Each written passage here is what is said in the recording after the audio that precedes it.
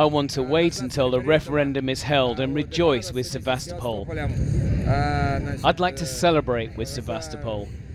These are things we've dreamed of, and they're coming true.